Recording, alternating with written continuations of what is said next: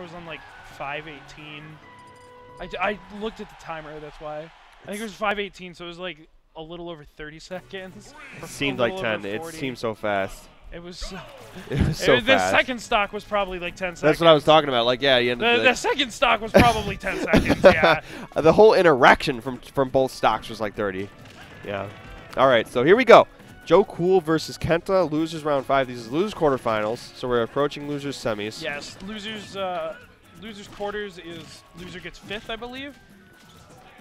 Yep. So Joe Cool versus Kent. Now, how well is Kent versed in the Little Mac matchup? Uh, hopefully better than JG was. Yeah, JG didn't seem to. Well, JG got got caught in some particular situations, like I don't know, but um, yeah, you got to avoid Yeah, those. True. I mean, anybody, anybody gets hit by the like the down tilt, down tilt KO punches. Yeah, that's just something. Yeah, it's so easy to get caught by.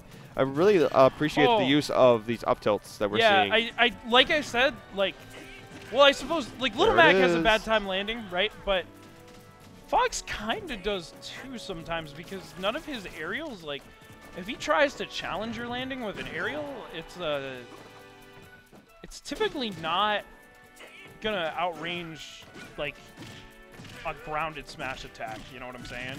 Oh my god! Look at this damage. Yeah, like Joe Cool gets so much, so much off of one hit. It's crazy. Like more than most Macs I've seen. that was really good though. He he saw the roll. He saw the roll read, jumped, and then immediately ran yeah, up and he knew him. he knew that the uh, he knew that it wouldn't confirm, so he figured Joe Cool would run behind him, uh, since that was the like, you know, just through like conditioning. That's the last direction you'd immediately expect Fox to go after a down air. Yeah, So dude, absolutely. But he's finding that down to the uppy combo, almost killing it 100%. This is a tough mountain for Kenta to climb. He really can't mess up. You know what I mean? He's got to play so safe. I mean, then Yeah. there's the side B. Kenta's, uh, I think Kenta's getting a little impatient. Yeah, Yep. like he, um, Yep. you saw him like.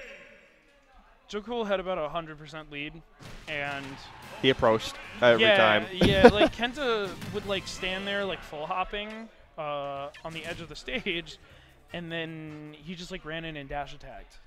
Like like Cool wasn't even that close to him, and he ran in and dash attacked because I feel like he's getting anxious and like.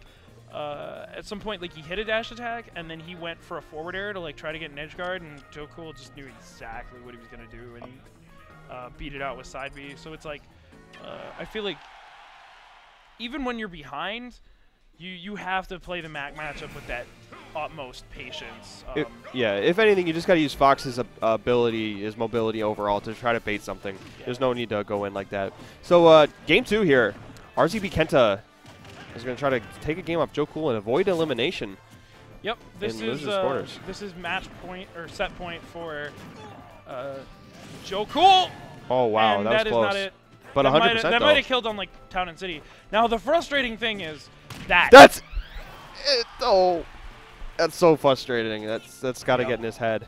Um, you know, he can't Okay, lose his okay, composure. but there yeah, you go. Yeah, th- see, that's what I was talking about right there.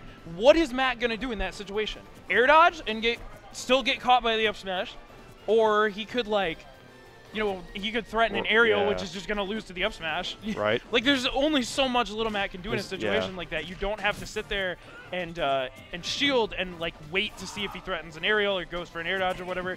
He's like very limited in terms of landing options, Yeah. and that's a big deal. Kenta really seemed, deal. yeah, Kenta seemed very aware that the up smash was going to beat out any, any possible option Joe could throw out. So good on him, but he's building massive damage here, um, as he's kind of been the mo of the whole set. He's gone off to big leads, but it's never over. But there's an up B off the up to, off the up air, Yeah, up tilt. I mean, Kent is just missing uh, these confirms occasionally, and yeah, like right there, he's gotten.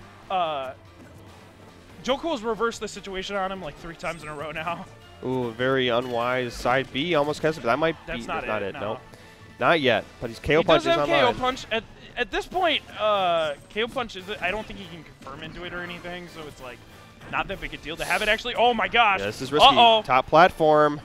And this is this is what I was talking about with you know Little Mac being hard to juggle, but he does find himself back on the ground. So now we find ourselves in a last hit situation. Uh, very scary for both characters, but I think that's it. Joe Cool takes it over Uh, Kenta. That's it. Just those. Dude, the freaking scream after the Yeah. no. that was funny. Yeah, this is unfortunate. Dude, just like echoes of like All the music was done.